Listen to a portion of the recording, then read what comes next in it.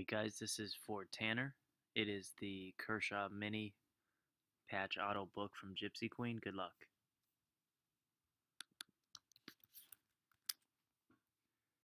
It's 947.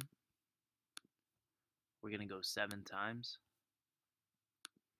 One Timmy, two John, three John, four Mike, five Mike, six Mike, 948.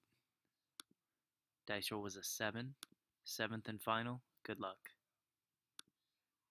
John Woods, spot 1. Congratulations, John. 948.